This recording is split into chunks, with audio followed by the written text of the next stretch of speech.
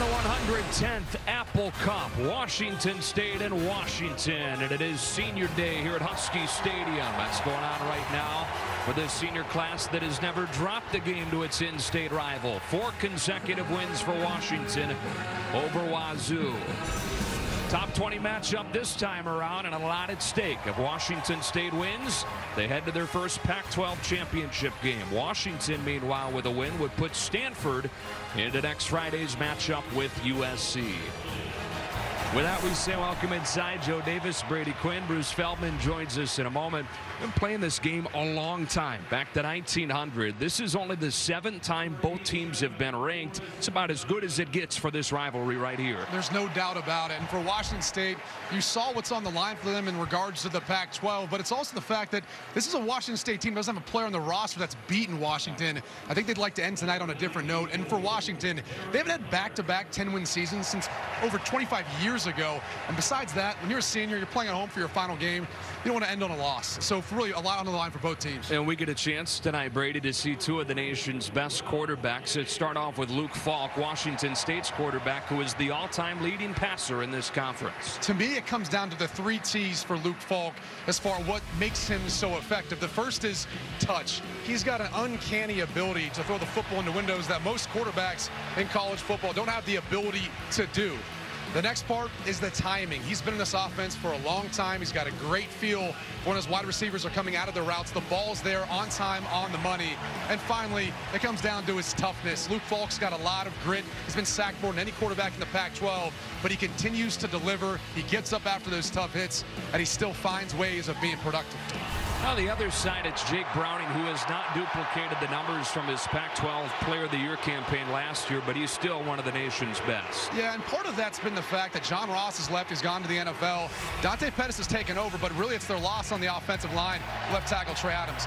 Some of it's been him trying to scramble because of the pressure that he's had, and he's still accurate even outside the pocket. You can see this in the final moments of their win over Utah, but some of it's by design as well. This is the first play of their game, and you can see they want to move him outside the pocket where he's a little more safe, but he still has that pinpoint accuracy, the back shoulder to Pettis for the big game. Won't be easy for either of those guys because these are the top two defenses in the Pac-12. That's nothing new for Washington. Washington State, though, this is a new thing, playing some defense as we send it down to Bruce. Joe, when Michael Leach hired Alex Grinch to be his defensive coordinator, nobody knew anything about him. Grinch said that's kind of an advantage, he said, because you get to set the bar, you get to do what you want to do. And what he does and his MO is a lot of speed and a lot of pre-snap movement. He said it's a lot of smoke and mirrors and giving people the impression that they're doing a lot more than they do, and that's a great equalizer. And that's why they have the best defense Mike Leach has had since he's been a head coach. The big thing for him, though, is Washington does a lot of pre-snap movement, too. And he said that's gotten the best of us the last couple of times. And it's very easy to get vanilla when you face this Washington team. And he goes, that's a me problem. I got to do what we do and what makes us really good. And I got to remember to stay aggressive. The Cougars one win away from a trip to the Pac-12 championship game. The 110th meeting in a series that goes back to 1900, and it's only the seventh time both teams have been ranked. First time back-to-back -back seasons they've both been ranked. Lately, Washington's dominated, winning four in a row and seven of the last eight. Uh, tonight, with the rain falling and the temperature in the high 40s, Washington State won the toss, deferred to the second half. And so the Huskies will have it to start. Salvon Ahmed, the freshman, back to return Erik Powell's kick.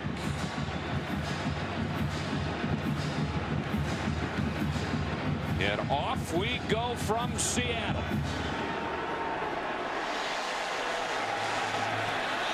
Ahmed thought about it, then took a knee. And so Washington will start at the 25-yard line. They've been slowed by some key injuries, but still number two in the Pac-12, averaging 37 points per game. And we talked about Jake Browning off of the top.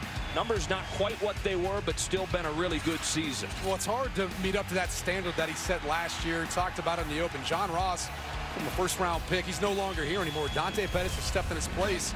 But it's really been the second wide receiver that's been the struggle for Washington, and not so much due to production, due to injury. A number of guys who really stepped up, whether it was Quinton Pounds or tight end Hunter Bryant, and those guys went down with injuries. All of a sudden, the passing game didn't quite look the same. They lost Chico McClatcher as well. He lost, lost his left tackle and Trey Adams. And starting this one from the 25-yard line with a Lavon Coleman run. The two running backs that'll see time for the Dogs with Myles Gaskin as well. Coleman getting the start on his senior night and a gain of six. I suspect you're going to see a heavy dose of run from Washington for a couple of reasons. You heard Bruce Feldman talk about how much this Washington State defensive front likes to move around before the snap and then really after the snap. Kind of slow that down. Running the football helps eliminate some of that. Gaskin in now, and you see some of that pre-snap movement from the Cougars. Gaskin downhill with a seam and a first down to the 48.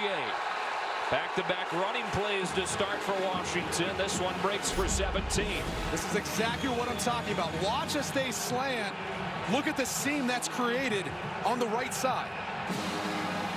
And that's exactly the danger that you put yourself in when you're a defense that likes to move at the snap of the football. If you don't have sound run gap integrity, all of a sudden you can open up some big seams. Coleman back in for Gaskin. On first down from the 48, Browning's first throw of the day. At least the first pass play called. He'll tuck it and get pounded after a gain of five or six by Isaac Dotson. Boy, he's uh, he's taken some hits the last couple of weeks, huh? Yeah, he's had to. And again, he's been more mobile. The protection hasn't been quite the same as what it was when Trey Adams, their left tackles in the game. Some of the criticism, too, has been he's maybe held on the football too long. But again, the explanation, besides Dante Pettis, they haven't really found that second option in the passing game to get separation. Jake Browning's going to try to make a play when he has the opportunity to do so. Gaskin spins off initial contact, finishes forward for a short gain. Turned a loss into a gain of two, setting up third and short on Washington's first drive. You see the counter to why you like to slant or have games if you're a defense. It confuses the offensive lineman. They have to adjust at the snap of the football as far as who their assignment is. Now you see this wildcat formation with Myles Gaskin. Running behind Coleman, Myles Gaskin fighting his way for a first down. Second effort got it for him. Washington converts its first third down of the night. Watch the penetration from Hercules Mata'afa. He's going to get through, but not able to get to Gaskin in time. He's so quick off the ball. He's not the biggest. He's only 6'2", 250 pounds, but talking with the coaching staff before, they said when he goes up against those 300-pound offensive linemen, it never enters his mind how much smaller he is than the guys he's going up against. One of the leading candidates for Pac-12 Defensive Player of the Year. They stick in the Wildcat. Gaskin again breaks a tackle at the line of scrimmage and manages a yard and a half with Jahad Woods making the stop for Washington State. Nick Begg, he got in the backfield, kind of all of a sudden started Gaskin or made him stop his feet and have to cut it back up. Offensive coordinator Jonathan Smith for Washington likes to throw in a big mix of things on his first drive. We see Wildcat, we see a mixture of personnel groupings. It puts a lot of pressure on the defense to adjust. Browning's back in, more traditional set for second and nine. Quickly outside they go. Salvon Ahmed, the freshman, dragging a defender to the 30 with a first down.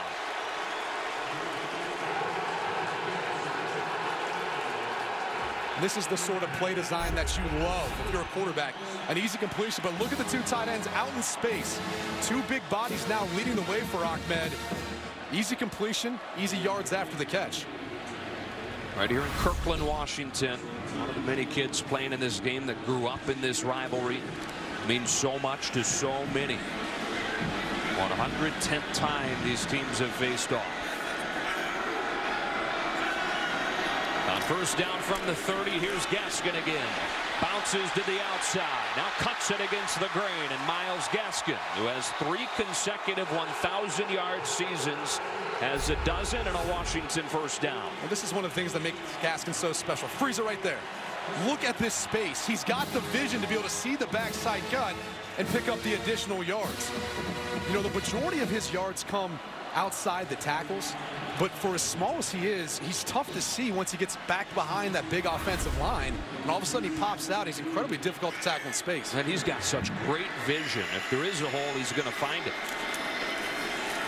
Browning off play action, finds Pettis, his first catch of the day. Dante Pettis. You, know, you talk about the question being who's the number two for Washington. There is no doubt who number one is. No, and you see one of the reasons that makes him so special is he's good on the double move routes, the big plays. We all know about him as a special teams return man, but it's the tough catches, the ones across the middle, like on the last play. He doesn't mind taking the hit and making the tough catch. Right now, this drive for Washington, they've got everything going. If you're Washington State, you've got to do something to stop the bleeding. To be the 10th play of this opening drive. They gave him enough for a first down. So first and goal from the seven. Fake to Coleman. Browning steps up, flips it forward to a crossing Pettis, who's popped out of the two. Isaac Dotson stopped him, second and goal. Jake, Jake Browning, there is no spot yet that he's been better than down here. Yeah, I was just going to say, I mean, as you talk about taking care of the football, zero interceptions in his career. I mean, you're giving yourself the opportunity to always come away with points. That's something that's just invaluable to any head coach. You talked to Chris Petersen about Jake Browning. I mean, he, he loves this young man, but it's the decision-making, I think, that makes him so special. You know, oddly, last week in that comeback win against Utah, they had to settle for a couple of field goal attempts when they got down here. Second and goal. Here comes Gaskin for a Washington touchdown. 11-play drive to start the score in Seattle.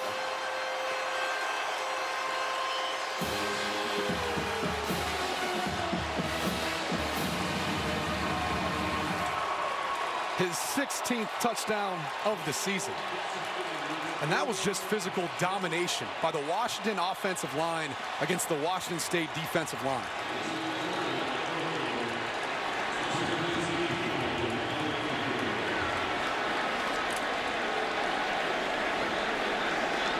Tristan Vizcaino. We had a missed extra point last week before the game winner. Adds this one and a 7-0 lead for Washington as Myles Gaskin gets his score record 40th touchdown of the year.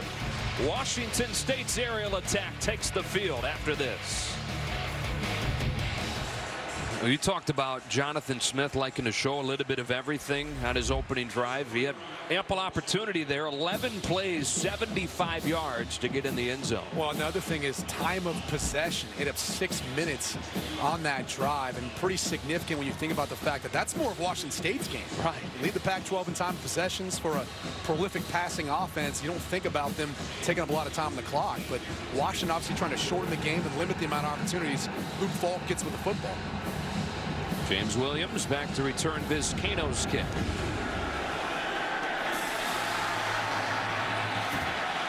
And Washington State will start at the 25-yard line. The number three passing offense in the country.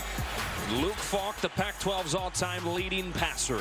I think the biggest thing that stands out about Luke Falk, we talked about his toughness, his touch, his timing. It's how he spreads the football around as well. I mean, he really does operate this system within Mike Leach's air raid offense as good as any quarterback that's probably played in the system. Eight players with 20 or more receptions. That's the most in the country. You know, most teams talk about balance run pass. Mike Leach looks at it as parts of the field and different guys involved in the passing attack. And for a relatively inexperienced group, when you talk about what they had returning from last year. Lost Gabe Marks, lost River Cracraft, Robert Lewis down with an injury in preseason camp. A lot of targets have emerged. They shoveled it off to James Williams. And Williams stays on his feet and crosses the 45. The sophomore from Burbank, California goes for 22. You only got three defensive linemen. They're dropping eight in coverage, which allows them to find the seam for the shovel pass and really allows you to set up blocking on the second level downfield. And then it's just Williams the rest of the way, keeping his feet and running tough.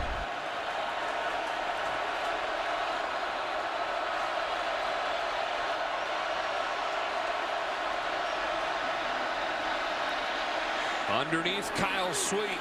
driven down by Keishawn Bierria after six, second and four. That's a staple of any Mike Leach offense, any air raid offense. You're going to see a lot of shallow crossers. Easy completions for the quarterbacks. A lot of times there'll, there'll be a mesh, meaning they'll be able to run one another off versus man-to-man -man coverage.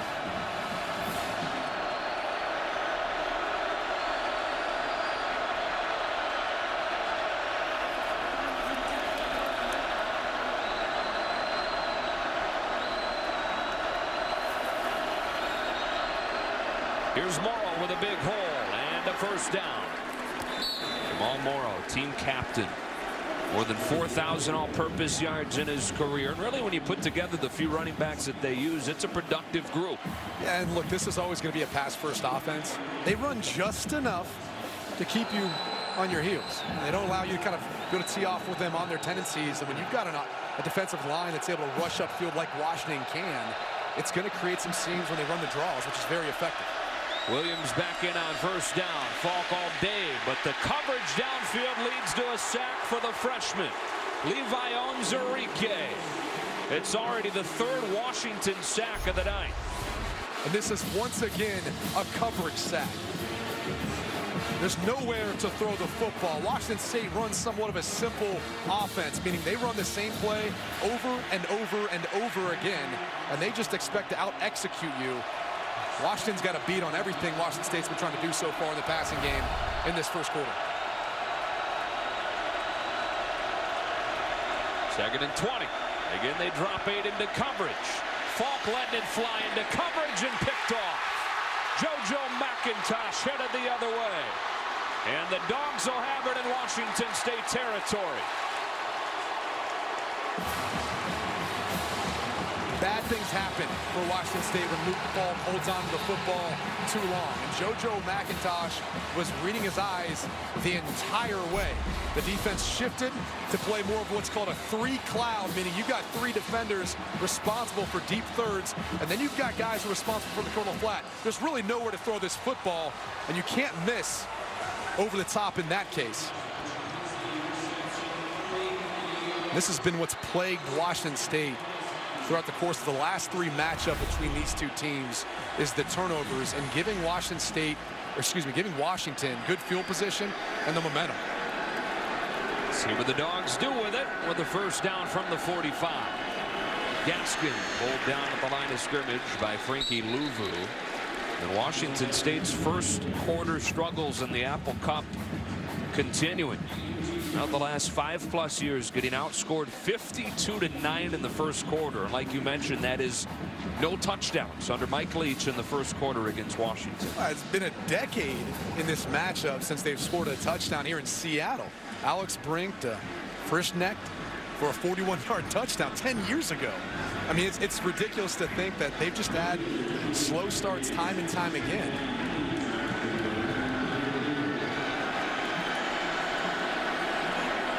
Closing seconds of this opening quarter. Outside they go Baccellia, who's got room down the sideline, but a flag down. This is coming back. Baccellia tackled at the five. But this will come back. Brayden Lenius with a block on the edge, and he got a little too much of the shirt. Washington loves putting those bigger bodies on the outside to help kind of lead block on their screens. Holding Offense number 81. 10-yard penalty. Second down. Right here. And he's just going to try to take two. And unfortunately, he's got kind of extended there, and maybe they feel like it exposed that ha hand grabbing onto the jersey. It's tough to tell from this angle. I thought he did a pretty good job. Yeah. Where was Marcellus Pippins going? In that case, again, you're just trying to kind of create leverage, meaning one guy for the outside, one guy for the inside, but I'm, I'm not sure exactly what he saw that made him cut like that.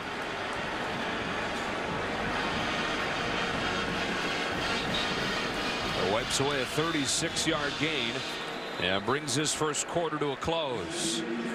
The 110th meeting in a series that goes back to 1900. Washington trying to play spoiler as Washington State has its sights set on the Pac-12 championship.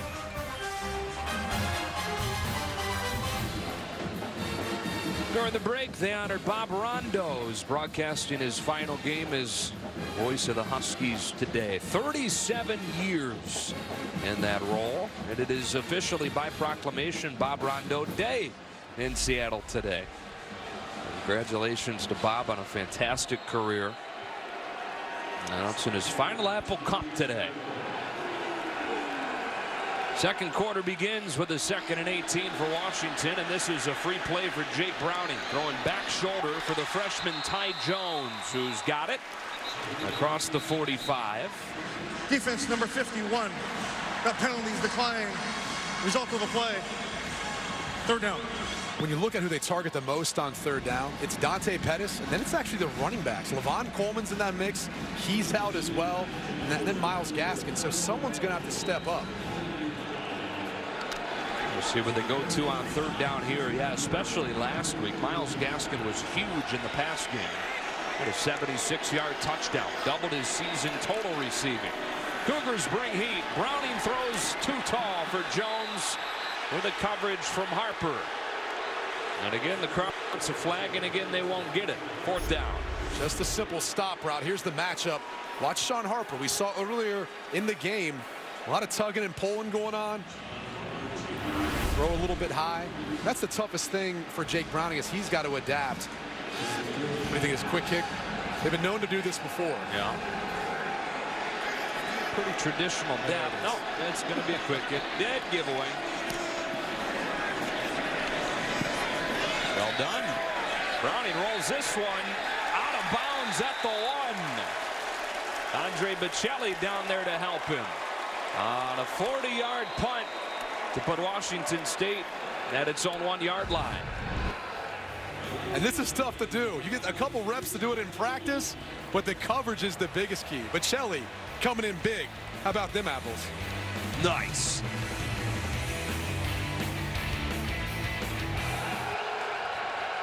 Luke Falk under constant siege in this game so far. Already sacked three times. He's been hit three more times and hurried three others. And in this area of the field, it's going to be loud, so he's got to make sure he takes care of the football. Already thrown one interception so far tonight. Back to the one. Washington brings some heat. Falk throws underneath, and he's got a wide open Tavares Martin Jr. His leading receiver on the season gets him some breathing room for the pickup at 22. This is pretty typical. You're going to see the motion man come across. You're going to see some guy come flat and a guy go deep. They try to manipulate each level of the defense to find someone open. And as a quarterback, you just read it bottom up. Short guy, middle guy, long guy. And in that case, we saw Martin be able to find the open space in the big game.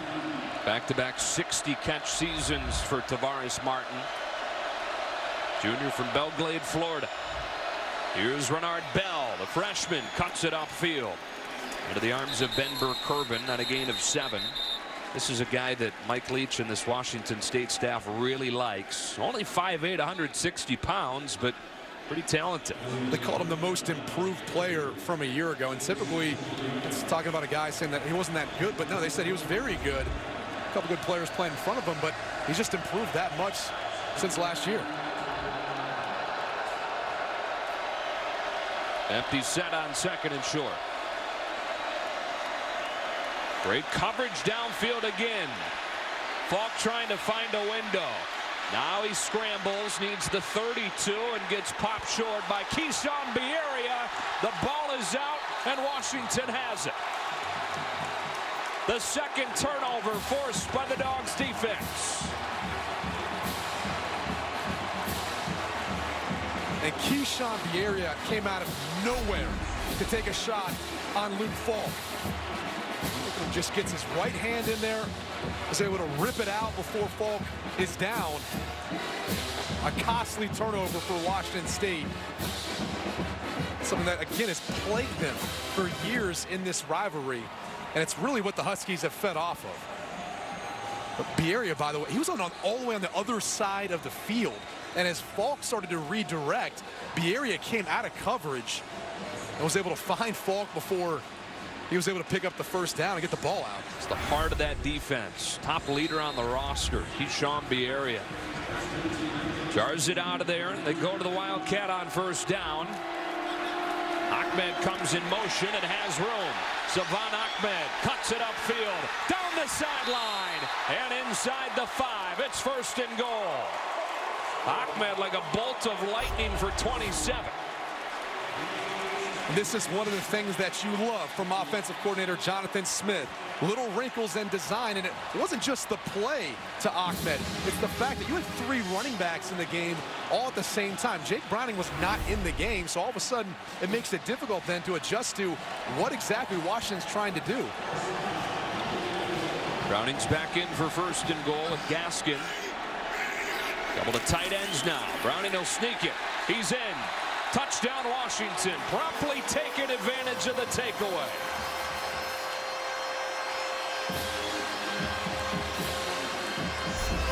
And this is just all about size and physicality as you see Washington. See how they gap down and it allows everyone to get good push. Utilizing the man next to you and you get a little extra help nowadays with Will Dissly and Drew Sample. You can push a guy in now. It's 100% legal. A lot of teams use that to their advantage, in particular on the goal line on quarterback sneaks. Uh, just to be sure, it was not legal about 12 years ago? Right? Yeah, not, not in 2005. Okay. Vizcaino's extra point. Hooks through. Couple of Washington State turnovers. Couple of Washington touchdowns. 32 seconds it takes them to take advantage. Not often do you see this. This is during the timeout. Mike Leach pulled the entire team together and delivered a message. He's, they've got to snap out of it. I mean, we saw in the very first drive the defense really struggling to get off the field and get any sort of stop. Weren't able to adjust in the last drive, giving up the big play to Ahmed to put them in position to score the touchdown. But offensively, it's been the turnovers. And, we keep hammering and talking about it, but can't play on the road in these sorts of conditions with this crowd until you can turn the football over, be minus two in the turnover margin, and be able to get a win versus a Washington team that feeds off of that. And just trying to ruin your championship hopes. Trying to reach 10 wins for a second consecutive year. It'd be the first time since the early 90s that Washington could accomplish that. The short kick. James Williams. Shy of the 20. Washington State trying to get something going offensively. They hit the crosser to start the drive. Renard Bell. And Bell's crunched after seven. Now, it may, may seem like a ridiculous notion to bring up if you haven't followed Washington State season closely. But twice this year, Mike Leach has pulled Luke Falk and inserted Tyler Hilinski. How soon do you think about that in this situation? I wouldn't right now. I think this could play out similar to the Arizona game, where they basically pulled Falk about at the halftime for a two-minute drive. And really, Mike Leach just wanted to see or have Luke Falk see from a different perspective, to see from the sideline. He felt like he wasn't playing fast. And Tyler Hilinski went in, finished off the rest of that Arizona game, uh, and really did a nice job. But I don't know that that's your best bet of winning this game. I think Luke Falk is the better of the two quarterbacks. Isaiah Johnson Mack with a first down reception. And for the record, I think it's ridiculous that you pull the, the Pac-12's all-time leading passer no matter the reason. But they've done it twice this year.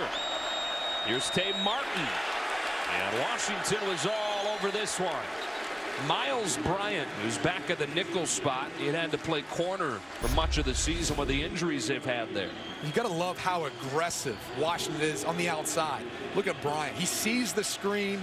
He ends up just committing to it right off the bat and makes the open field tackle. Something else that Washington doesn't get enough credit for because it's simple. They tackle well in space. You don't see many missed tackles from this Husky defense. Washington's been able to pressure with three and four all night.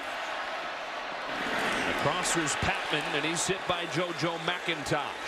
JoJo McIntosh is the enforcer here for Washington. He kind of reminds me of Kam Chancellor for the Seattle Seahawks, and was ejected last week's game in the first the uh, first half because of a targeting hit. And that one looks Boy. awfully close. And, and, really the rule is you can't lead with the crown of your helmet. That's something he did a week ago. Almost similar there. Yeah, and it was added on in replay. And just so people understand, too, it doesn't matter if they're defenseless or not. You can't lead with the crown of your helmet, bottom line. They're down and short. Morrow gets swallowed up by Greg Gaines.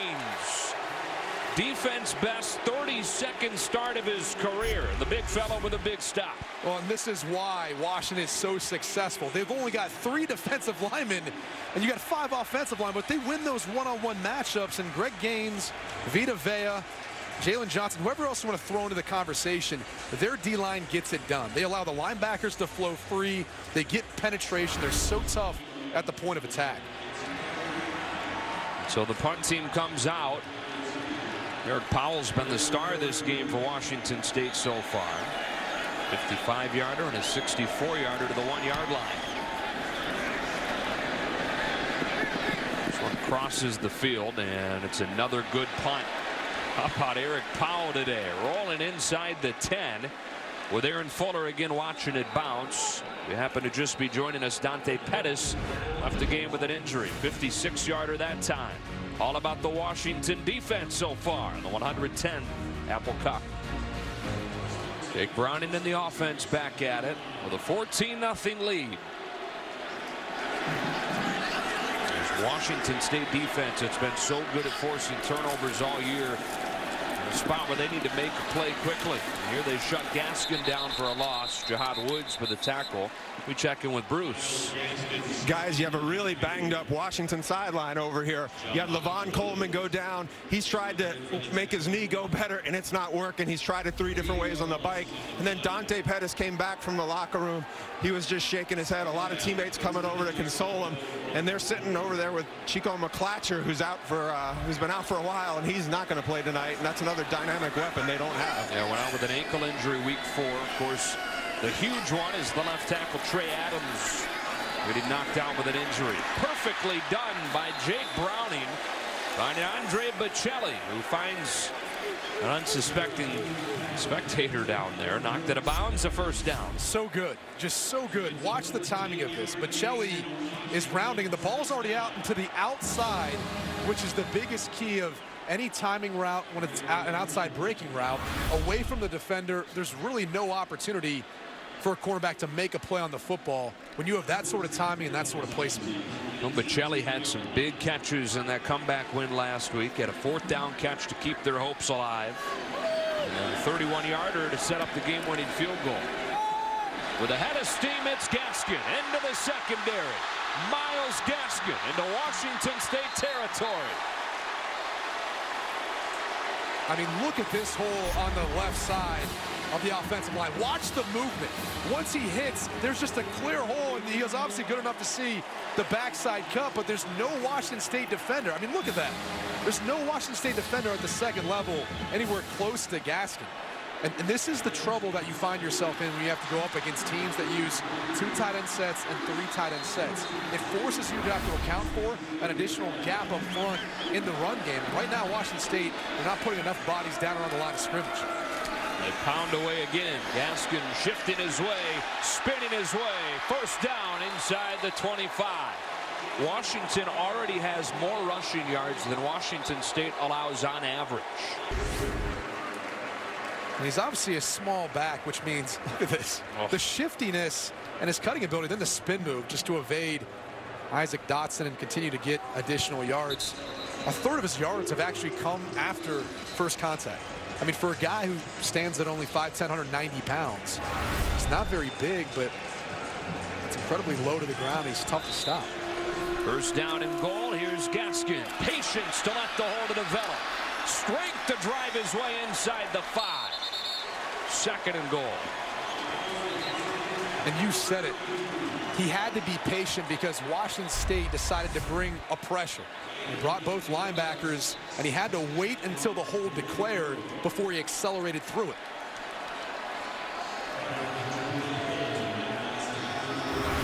I wonder at some point if you don't throw Jake Browning an opportunity to have a little play action pass as well as you're running the football doesn't ever hurt to mix that in every once in a while. Instead, they keep it on the ground, and why not? Gaskin plunges his way in for the second time tonight. Washington's opened up a three-score lead.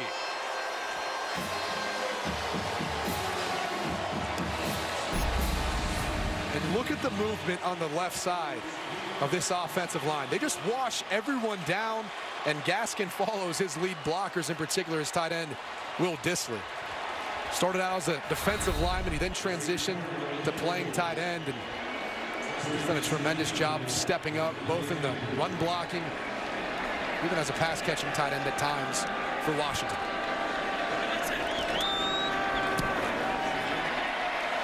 Twenty-one nothing Washington. There's a different shade of red down in Palo Alto, enjoying this one. Back in Seattle, Washington all over Washington State. They marched down the field largely on the run. 93 yards on nine plays, seven of them on the ground. Averaging eight yards per carry. Just dominant performance so far by the Washington rushing attack, and in particular, that O-line. Keith Harrington and Renard Bell back to return Vizcaino's kick.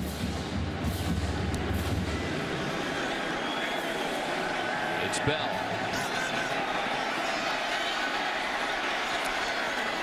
The flag flies in. And you can see Mike Leach is upset with his quarterback, and rightfully so. He's going to have to make more throws in tight windows. A three-man rush gets to him.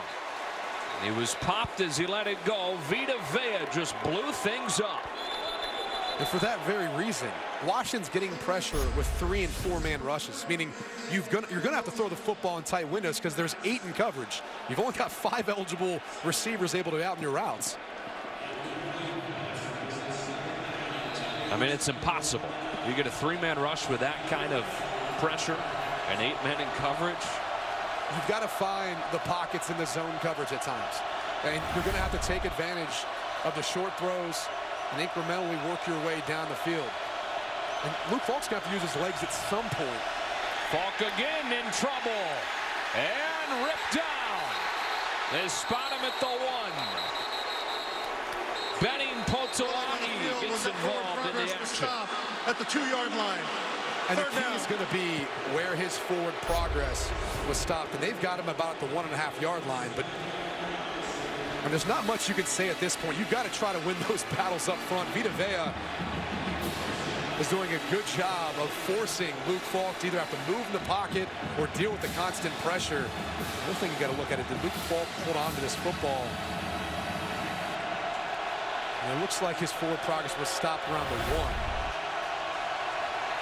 Third and 17, and again they bring three. Falk off his back foot, throws it out of bounds. And with the rain falling in Seattle, Luke Falk is living a nightmare right now. And he took an absolute shot from Vita Vea.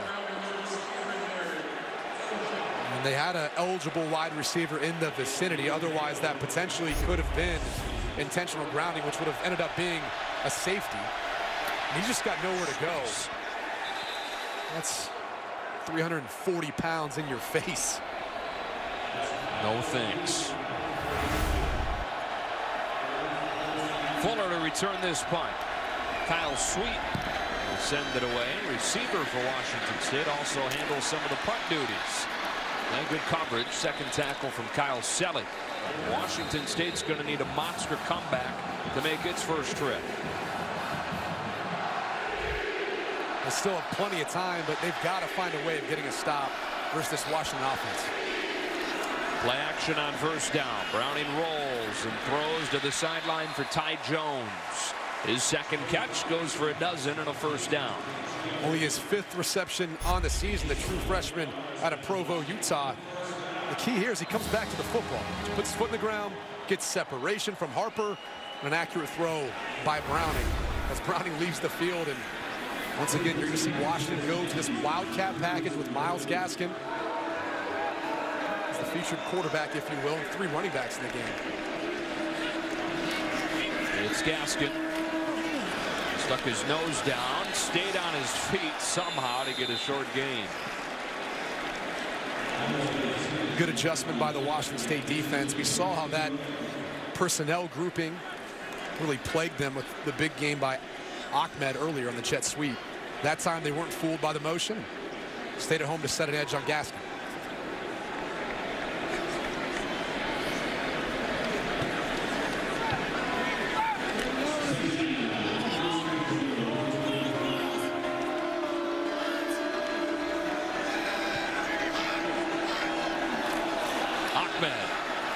Hits the hole hard, and Ahmed close to a first down. Isaac him with a tackle. This is last play. What do you do with your chain when it comes off mid-game? Where else are you going to put it? You got to put it in your sock, man. It's the only safe spot for it. Pull it up. Problem is, as much as he's been running the football tonight, probably not too safe. So he got a breather, and he, and he made sure that chain was safe. Uh-huh. Washington State will have the ball to open the second half, trying to gather some momentum here, getting a stop in a short field. Browning looking left, throwing incomplete behind Baccellia. From here, it would be a 44-yarder for Tristan Vizcaino. And he started out of the field, then they pulled him back, and now they'll send him out. He's had somewhat of a roller coaster year.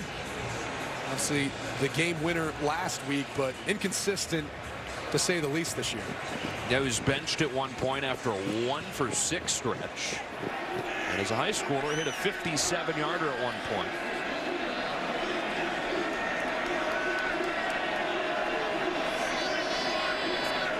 Vizcaino from 44. It is right down the middle. And with the exception of one drive, Washington has continued to find points every time they've gotten the football. The Huskies all over the Cougars trying to reach 10 wins for the second year in a row. Trying to spoil Washington State's championship hopes. Out of Mike Hill in Los Angeles, the State Farm halftime show. The 110th Apple Cup. Washington and Washington State. All Huskies in that first half. We get ready to start the second half. Joe Davis, Brady Quinn. Bruce will be with us again in a moment. I mean, that was in every phase a thorough beatdown. Yeah, I mean, look, football games are won and lost at the line of scrimmage. And, and that's what we're seeing right now from Washington. They're winning the battle up front offensively, rushed for almost 200 yards in the first half. Washington State cannot stop them, and they can't get off the field. And then on the flip side, defensively, Washington has been unbelievably tough up front. And it's been the pressure they've been able to get with their front three, front four, and also the coverage downfield. Washington State will have it to begin the second half. Looking for a monster comeback to get to the Pac-12 championship game. Otherwise, it'd be Stanford to take on USC on Friday night from Santa Clara. Keith Harrington has his hands on it and chopped down to the 25-yard line. Take a look at our Geico first half stats. Here is proof of what we're talking about. Washington State minus 25 on the ground. And this is not your typical Washington State defense where you know, normally giving up 181 on the ground and a half wouldn't be a big deal. They're really good stopping the run traditionally this year. Yeah, and, and, really the other thing is getting turnovers and then turning those into points. And, and that's more been the story of tonight's game so far with Washington, not Washington State. So how does Washington State get it going offensively? Pac-12's all-time leading passer, Luke Falk, 12 of 19 with those two interceptions. Against a three-man rush like they saw much of the first half, they complete it to Tavares Martin Jr. And we go down to Bruce Feldman. Joe, Mike Leach's diagnosis of that first half, our guys are just trying to do too much, and we're trying to make all these special plays. I had asked him, I said, do you think you guys are at all intimidated by these guys? He goes, I, I don't really think so, but we got to find a way to get these block guys blocked, especially that number 50. He's killing us. That'd be Vita Vea. Renard Bell, the motion man. They bring an extra man this time, and Luke Falk takes off. They'll spot him where he began the slide, which is right at the marker. That's something that Luke Falk's going to have to do a lot of in this second half because Washington State doesn't have much of a running game as good as Washington's been up front and stopping the run. And you're at a deficit now where you've got to throw the football. So when they do have an opportunity, when he has an opportunity to find a rush lane and pick up additional yards, he's going to have to do that. They throw the bubble. Kyle Sweet not going to get it. Ball comes out. They say that it's a completion and a fumble that Washington State recovers. Sweet gets on top of the ball that he coughed up. Washington State tries to utilize a wide receiver screen.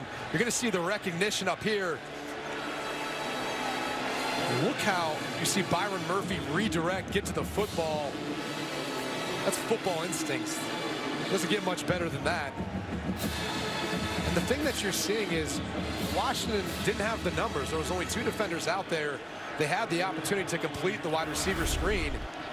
for a decent gain, but Murphy just won the one-on-one -on -one battle in the open field. That's been the story of tonight's game. So that overturned call lines up looming large as they have to punt it away. And Fuller with a fair catch on a line drive.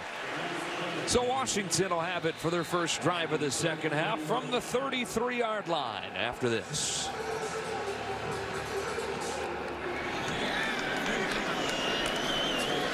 Baccellia headed around the left side. Thompson grabs a hold of him.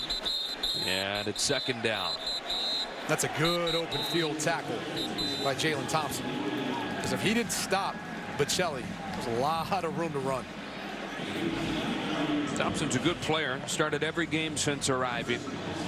Sophomore out of Downey, California. Was a freshman All-American last year. And their leading tackler here is a sophomore.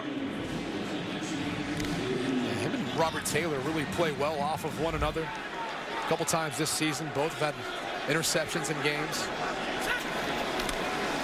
Here's a trick play out of the Wildcat.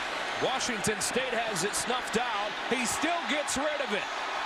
This is Kamari Pleasant hurdling his way to the 21. Wow.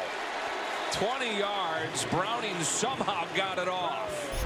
Well, they were trying to work the ball to Will Dissly, The senior out of Bozeman, Montana, and you'll see, look how he works up the field. He's got him, but he's got to move because of the pressure. He tries to set his feet again, but once again, Houdini's and finds his way to flip the ball to Pleasant. I mean, an unbelievable job by Jake Browning just to make something out of nothing.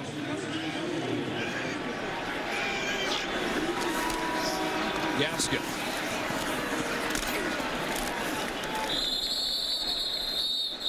By the way, how many times do you see what is almost back-to-back -back plays with a shovel pass as things are getting a little chippy down there on the field? Flag just flew.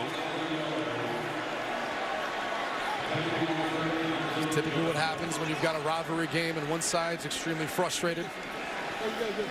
And this almost looked like Dotson punched someone. You see on the left side of your screen, right oh. there. It's a kidney He's shot. get ejected for that. And look, he's probably there trying to no plead his case. Play. Second down. He's no probably foul. trying to plead his case. He was going for the football because that was the arm Gaskin had in his left arm, but there's no need for that. That was long after play was dead.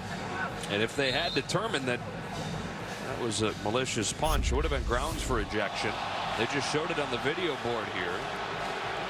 And it's hard to tell, but you can see he's, he's trying to go after the football. And this is what desperation looks like when you're down and you're trying to do all you can just to get a turnover and make something happen. Second down nine. They give it back to Gaskin, who's met in the hole this time. Justice Rogers. See more time at linebacker with Jahad Woods banged up. Third down. Rogers, who came in for Isaac Dotson. And Dotson missed some time earlier this year. Rogers played pretty well. I mean, you had three three freshmen almost at times playing the linebacker position, doing a pretty darn good job for Washington State. Supposed to be a veteran group. Had three senior starters there to begin the year, but as you mentioned earlier, Peyton Pelluer, Nate DeRuyter, Isaac Dotson, all injuries at some point. Here's Fuller. Not a whole lot there. It'll be fourth down. You got to love the fact that Washington State's rallying to the football. There's still a ton of effort. They understand there's plenty of time left in this football game, and as lopsided as it's looked, their offense has the firepower to be able to come back and make plays in the passing game, although the way this game has gone, have a hard time believing that tonight. Field goal team comes out. Tristan Vizcaino hit a career-long 44-yarder his last time, and it seems like he's really feeling good about himself right now. The game winner last week. He struggled from the right hash, though, this season. This is where the majority of the misses has come.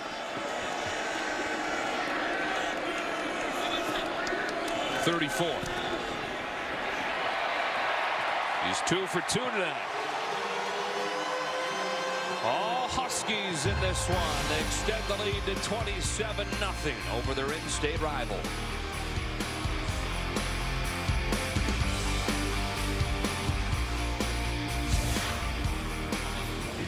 The season full of dominant performances. They got a signature one going here, shutting Washington State out through two plus quarters.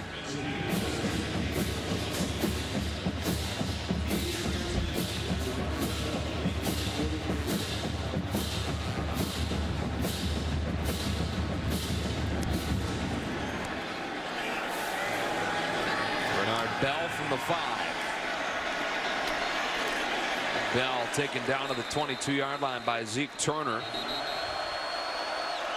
Here's Morrow. Jamal Morrow tackled by Ben Burr-Kirven. mentioned it earlier when you look at the recipe for success versus Washington State. Chris Petersen's defenses have had so much success. And you look at some of the relations back to other teams this year that have had success versus Washington State. Justin Wilcox, who spent some time at Boise State. Marcel Yates, defensive coordinator Arizona, who spent some time at Boise State. And the common denominator is the way they mix some things up up front, the way they mix coverages, playing a little bit more split safety looks at times. Here comes Morrow with a head of steam, clipped down by Austin Joyner. Talking about Chris Petersen coaching tree, guys that spent some time with him at Boise State, the success they've had against his Washington State offense this year. And for Chris Petersen, really, his entire time as head coach here. It's those roots stemming back to Boise, but it's it's really been the different things they do up front, whether it's with their pass rush or their coverage on the back end, the mixture of coverages, the things they try to do to disguise and confuse Luke Falk after the snap of the football. Cougars yet to convert a third down today, facing a four-man rush. Falk over the middle gets picked off. It's Ben Burr-Kirven. Third interception of the day for Washington. This has happened on every interception so far today. Luke Falk's just not seeing the defense. I mean, Ben Burr-Kirven was looking up this route the entire time. Watch his eyes as he drops into coverage. He sees it coming the whole way. Luke Falk starts to stare down Sweet, and he's thrown off his back foot. He doesn't have much on the football anyway, which makes it a very easy interception for Burr-Kirven. Like he didn't see him. And that's the problem when you talk about how you go about reading defenses and your progressions, all the things you talk about in the quarterback room. When you read a defense, you're, you're looking at defenders. These are all pure progression reads for Washington State. Gaskin on first down, short game. And what that means is you're basically looking one, two, three, four, five. You're going through all the different receivers or potential receivers in their routes. And because of that, you're not so focused on the defense. But that's when you lose sight of where certain players are, especially when a defense moves at the snap of the football, like Washington did on that a couple plays ago. In Luke Falk's career, now in the Apple Cup, which is three games long, he missed one game with a concussion. Three touchdowns and eight interceptions. Gaskin makes one man miss. Accelerates. Myles Gaskin leaping for the end zone. His third touchdown of the day. And the route is on in the Apple Cup.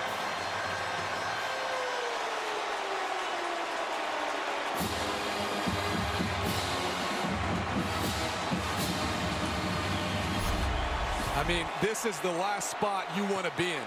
If you're a defender in space, like Sean Harper was one-on-one, -on -one, it's tough to even get a hand on Myles Gaskin. And look at the balance and the ability to stay in bounds and leap for the pylon. I mentioned earlier tonight's broadcast, and the two losses Washington's had this season, Jake Browning didn't throw a touchdown pass. Now, they beat UCLA, and he didn't throw a touchdown pass in that game, but they rushed for 333 yards and five touchdowns, which is looking very similar to how tonight's yeah.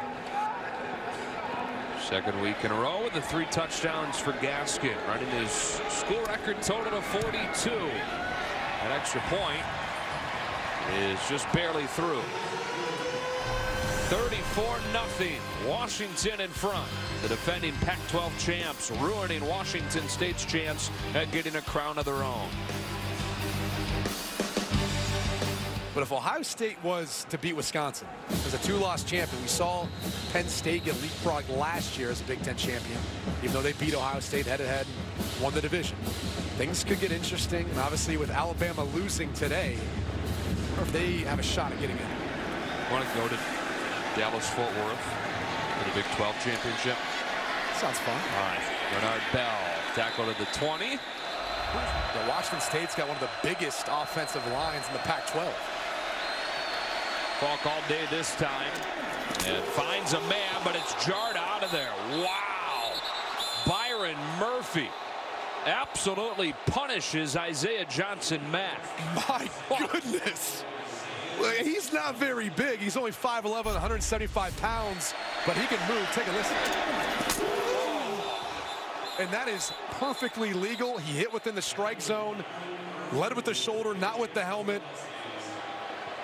Well done by Byron Murphy. Freshman who had two interceptions in his debut game against Rutgers, but then broke his foot and missed two months. Now his second game back. Watching him come back, that young man's the difference maker.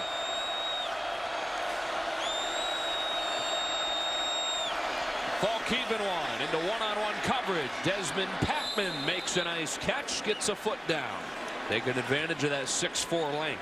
And this is really the mismatch I was kind of looking for all game long from Washington State, but they haven't taken many opportunities to just throw up jump balls. They've got multiple wide receivers who are 6'3 or taller, whether it's Isaiah Johnson Mack, Tavares Martin. We saw Pittman, I mean, excuse me, Patmon. I mean, they've got a number of guys who are at least four inches taller than the quarterbacks they're working against.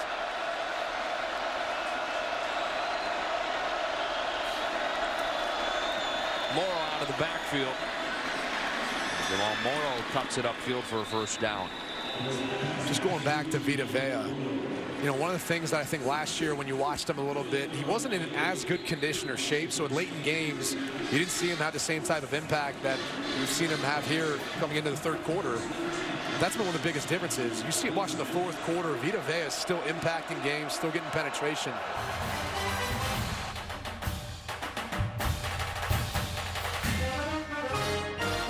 Stope in the fourth quarter. In Washington territory, Falk steps into one to the sideline in the air and incomplete. Joiner the coverage. Tavares Martin Jr. the intended receiver. The toughest thing for Luke Falk with what this Washington defense has done in their secondary is they're mixing up their looks. And at the snap of the football, you're either going to safety running down to create a single high safety look, or you'll get both safeties sitting in the back. And then sometimes they move where they'll shift to one side of the field and play more of a zone coverage with two defenders to the outside. So that disguise and that mix, I think, has confused Falk at times. Able to get this one off, finding Morrow for a first down across the 30. And that's the weak portion of the field when you play a two-high split safety coverage. It's the middle of the field, this void. And if you can find a way of free releasing a running back, it forces those linebackers to have to play in coverage. I don't know how Falk sneaked that ball in there. Sixth time he's found Morrow tonight. That leads the Cougars.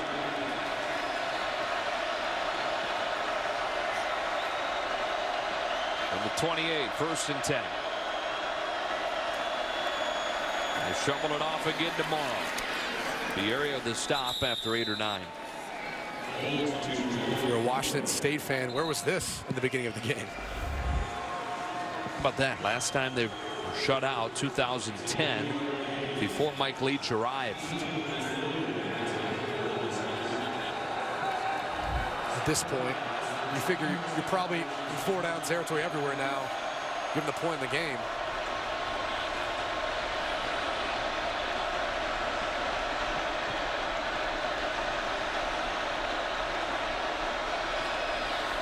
Second and short.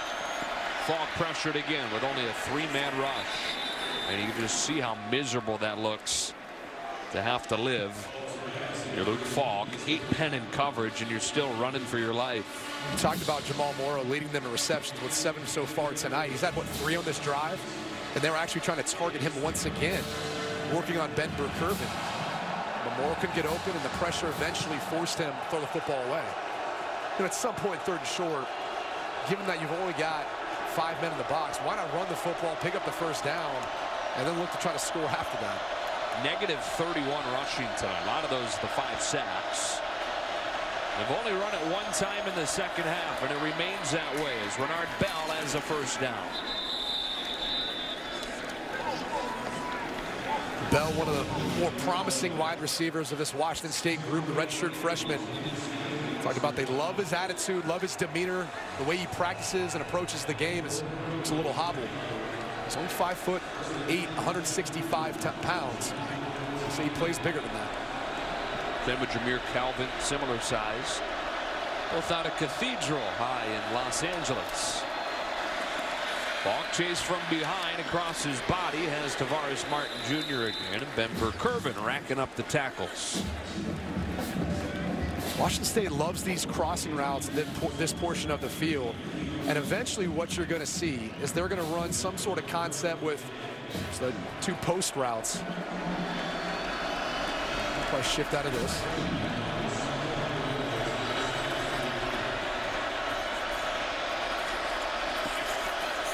Looking for that void in the middle of the field. They find it with Sweet. First and goal, Washington State.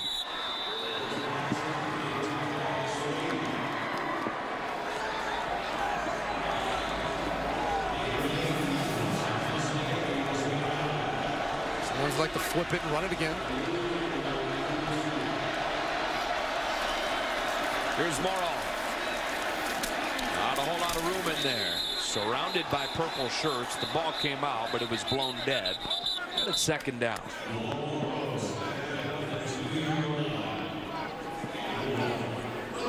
D's really hoping for a shutout. This is that area where you'd think that size advantage, if they can throw the football up for a fade, would come into play for Washington State.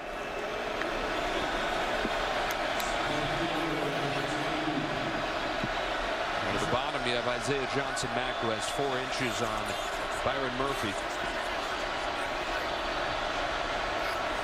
Second and goal, back to Morrow, and he's in for the touchdown. So the Cougars finally on the board here in the fourth. Key was the way they spread the field there. You talked about Isaiah Johnson Mack. They had a two by two set with both sets of wide receivers extremely wide, forcing Washington to have to declare how they wanted to play their defense, how many guys they wanted to put around the line of scrimmage to stop the run. Washington State had the numbers able to finally find a seam in that Washington State or that Washington defense. Excuse me. Punch it in on the 15th play of the drive. And Powell had the extra point. It's 34-7. We talked about the playoff picture. The other thing that's developing as we move into December is the coaching carousel. Bruce Feldman will give us some details when we come back. There's some big-time openings across college football, aren't there, Bruce Feldman? That's right, Joe, especially in the SEC. Keep an eye on Arkansas if you're a Washington State fan. I was told on Friday by a source that if Auburn ended up winning this weekend against Alabama, which obviously they did, that might take Gus Malzahn out of the mix for the for the Arkansas vacancy. And here's where it gets interesting. I'm told some Razorback influential boosters are very intrigued by Mike Leach and may try to come after him. He also potentially could be in play for Nebraska, where Bill Moos's old boss, who was the AD for the Cougars, is now in Lincoln. The question, though, is would Leach actually leave? I know he really likes it in Pullman. His family's happy there, and he's obviously built this. But if Arkansas comes coming, or Nebraska, would he be able to say no? Onside kick recovered by Ty Jones. And, and the other part of that is, you know, you're, you're changing your program the way it looks, at least offensively, in a dynamic fashion, right? I mean, Arkansas has been known for running the football. They've been able to throw the football and air it out a little bit, but I mean, Bret Bielema, former offensive lineman, I mean, he's, he likes to run the football. That's a complete identity change if you're Arkansas. As you look at what Mike Leach has been able to do for his time at Washington State.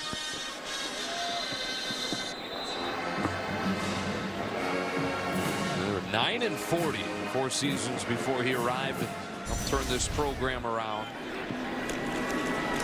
First down run for Gaskin. Accelerates for a nice pickup. So uh, not that surprising to see Mike Leach attach to some openings. But Bruce, what is this about Chris Petersen perhaps being a candidate at Tennessee?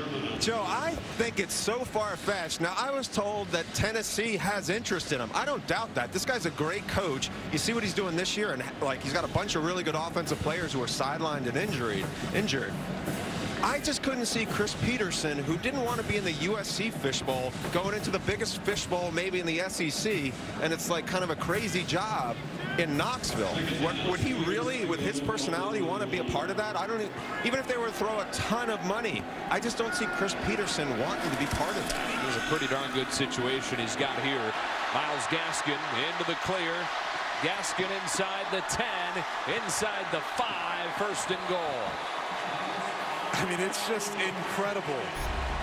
Not only won the job that the offensive line does up front, creating holes. I mean, look, Gaskin's got the vision. He's got the gas once he steps on the pedal. But watch him just carry a defender an additional, what, 10 yards? You can't say enough about how consistent he's been since he's gotten to Washington. He's averaged 100 yards almost every game of his career when you put it all together. In the last five games, four of them he's rushed for over 100 yards. The one game he didn't, he caught for over 100 yards in the passing game. How about a four-touchdown day? Emblematic of how this day has gone. Untouched into the end zone for Myles Gaskin.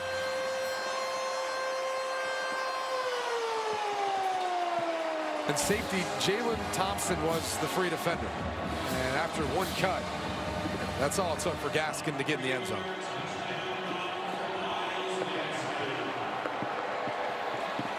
What a day.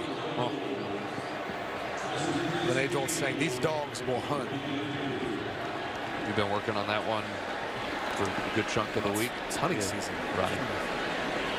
You had gone to break earlier. How about them apples? Uh, Monday, Tuesday.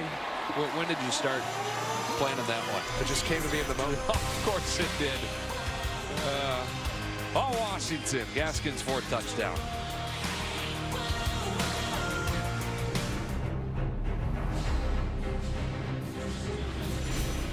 All Huskies in the 110th Apple Cup. How about that fake apple? The air apple? Uh-huh. Classic. Only break it out once a year. What kind? What's your favorite apple? It's a Fuji. I think it's a Fuji. Really? That's your yeah. favorite? I like the grannies too, though. Those are good. Honey crisp all day. Wow. Pretty specific. Had one last night in Rome. Renard Bell. Crosses the 25-yard line. Timeout.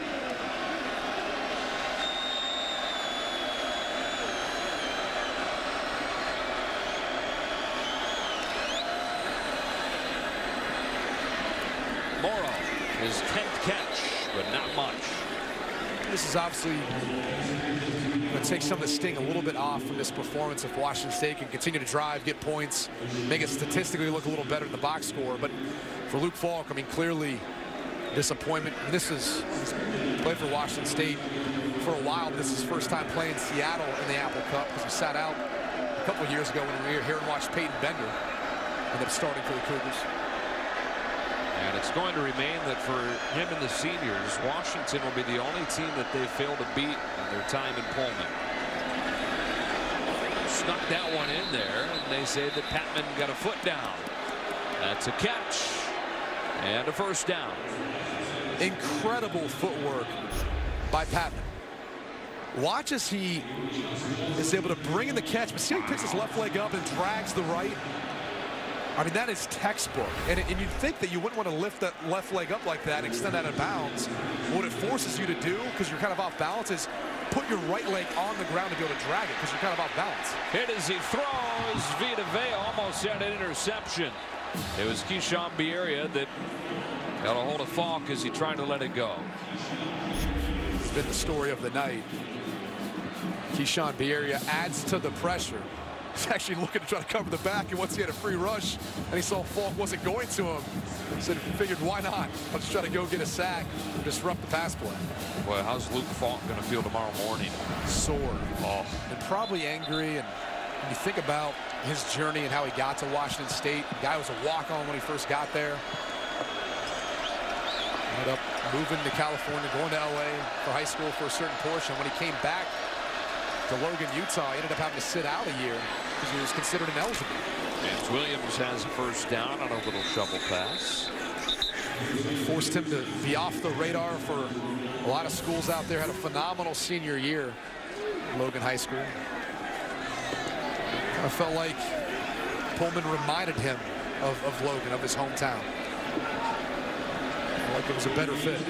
And when he got here, he was the sixth stringer, but stood out right away for his work ethic, moved up the depth chart. As a redshirt freshman, he was Connor Halliday's backup and started the final few games when Halliday was hurt. Would feel to evade the rush this time and slides down after a short game. First full year as a starter in 2015, he was the nation's leading passer. And again last year, similar numbers, 4,500 yards, 38 touchdowns. And he's capping it all off as the Pac-12's all-time leader in just about every major passing category. The ones you want. Yeah, you know. Right. I think the next question is going to be, you know, how does he compare or translate to the NFL? Yep. We haven't seen many quarterbacks from Mike Leach system be able to play well, play at a high level once they get to the NFL. I think the biggest thing is, as we look at his Pac-12 records entering today, he's only going to build upon that between tonight and the bowl game. But I think the, the biggest difference is you see the style of offense that they run, and it, it's just not as conducive to the NFL level where you have different personnel grouping as you're moving in and out. Even though you're in shotgun more now so than ever in the NFL.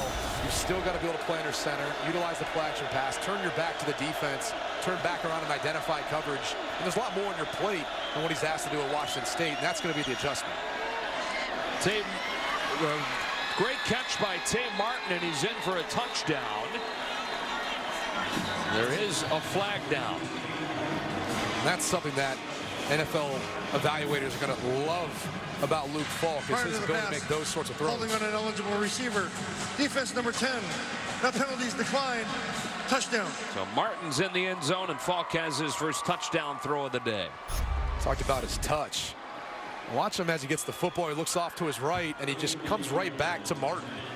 Martin, the ability to adjust, and they're really high on this true freshman.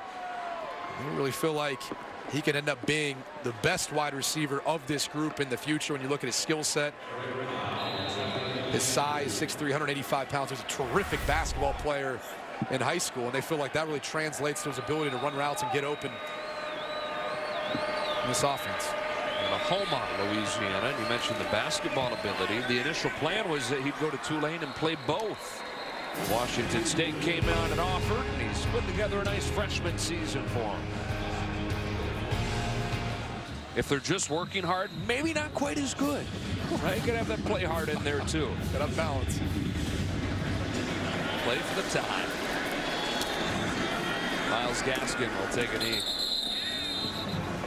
KJ Carta-Samuels replaces Jake Browning at quarterback. Junior from Saratoga, California. Gives it off to Ralph Kinney on first down, and he's got a nice run. This is obviously a great moment for a guy who's a senior. It's his fourth carry of the season, but from Shelton, Washington. And it's that fun part when you're a part of a blowout win in a rivalry game, your last home game if you're a senior. An opportunity to get some playing time for some guys that work so hard to a lot of times service the scout team, put on good looks throughout the course of the year. And this is one of those rewards, finally getting on the field and your family and friends one last time. Part of another Washington blowout in the Apple Cup. 41-14 here after a 45-17 win last year. 45-10 two years ago.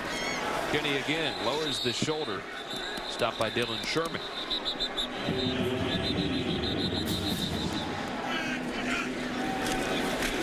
Kinney again. Third down. You and Bruce have kind of settled on three finalists, though, at this point. Yeah, I mean, look, bottom line, Baker Mayfield's played the best football at the most important position. And I don't foresee him not hoisting up that trophy when it's all said and done. But I talk about Bryce Love, leads the country in rushing yards per game. And then Bruce's favorite, Saquon Barkley, who he's been phenomenal at times, but probably not consistent enough. What say you, Bruce? Brady, I'm ready to vote for Vita Vea after tonight. no, it's Baker's running away. The only guy who might have had a shot would be Kerryon Johnson, just because he's got a big game in the SEC title. At least he can get to New York. Beyond that, I'm not sure anyone's touching Baker. Yeah, you wonder if he hadn't split carries at time. I know Pettway, you know, he's injured, but he kind of split some carries. Maybe if that will allow him to have more production earlier this season.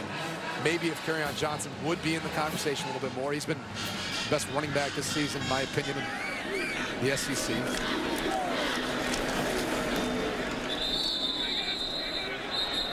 What is with Washington State taking these timeouts here, using all three of their timeouts to force the punt?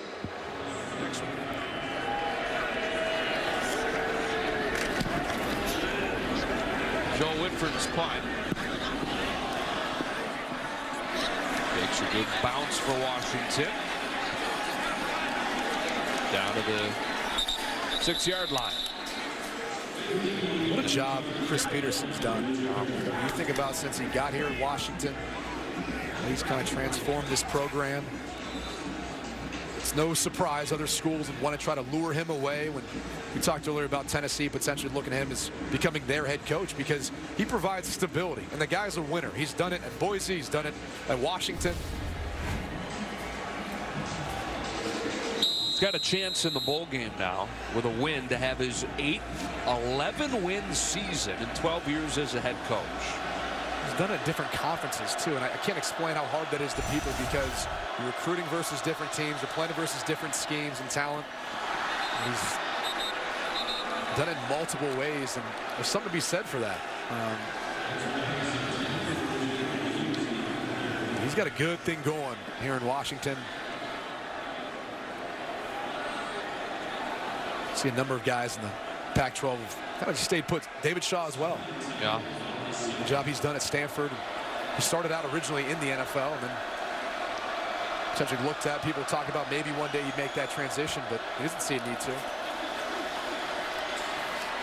Falk over the middle. That's Dave Martin. Chris Petersen, a coach's son, but he said he had no plans on being a coach when he was growing up. Wanted to be a psychologist. Studied that in college at UC Irvine. Uh, wound up a coach.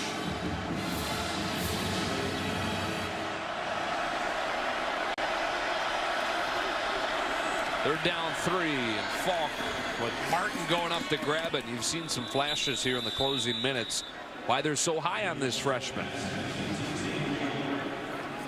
Has natural skills that you know translate from the basketball court to playing wide receiver. You see there going up high pointing the football. He's got good hand-eye coordination, but it's, it's really the ability to feel a defender when he turns his hips and how to get open and when to get open. Like right there. Martin again. That's why I always wish more kids played multiple sports because they do kind of play hand in hand. And him understanding zone defense versus man-to-man -man defense in basketball translates onto the football field as far as how he gets open versus man-to-man -man defense and press coverage versus zone coverage. He's got a feel for all that because of that background playing basketball. Here's Patmon. And that will do it. All Washington. I said UC Irvine. UC Davis product. Chris Petersen, unbeaten in Apple Cups, and Washington has won five in a row in this series, eight of the last nine. And with the win, Stanford will represent the North against USC in the Pac-12 championship on Friday.